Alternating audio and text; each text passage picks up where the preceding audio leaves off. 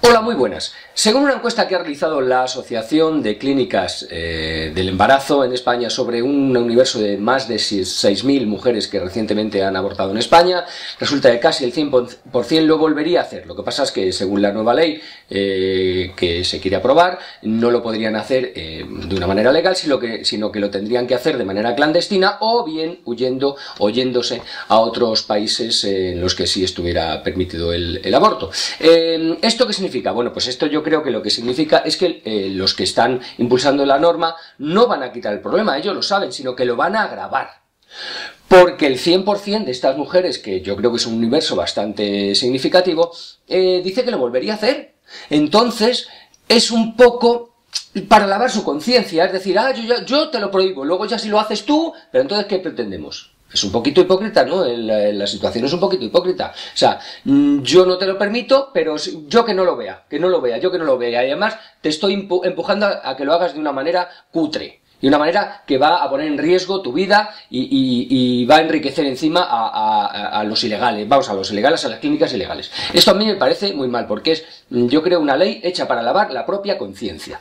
Em, además, de, en, el 47% de estas mujeres encuestadas han dicho que se han quedado embarazadas o se quedaron embarazadas por eh, no utilizar métodos anticonceptivos. Eh, digo yo, sabiendo esto, ¿por qué no, en vez de eh, impulsar el el discurso del pecado y la prohibición y tal, por qué en vez de eso no se eh, impulsa la, divulgación y por qué no se, eh, eh, dota de, dinero mm, a quien tenga que ser para hacer campañas de, educación sexual. Digo yo, ¿por qué no? Porque no se va a hacer.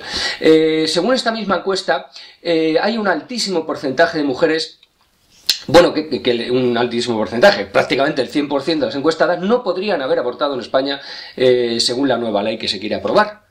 Con lo cual ya me imagino yo quiénes se están frotando las manos, los que ya tienen pensado hacer las clínicas clandestinas y los de los turoperadores para hacer viajecitos de fin de semana a Londres. Esto nos retrotrae a una época muy oscura y muy triste de este país. Eh, bien, vamos a... Siempre habrá quien se alegre, por supuestísimo. Vamos a hablar ahora con una persona que está en contra de esta, de esta encuesta que ha hecho la Asociación de Clínicas del Embarazo. Eh, hola, ¿por qué está usted en contra? Pues hombre, porque está hecha mala idea. ¿Pero cómo va a estar hecha mala idea? ¿Por qué? Coño, es que solamente ha preguntado a mujeres que han abortado.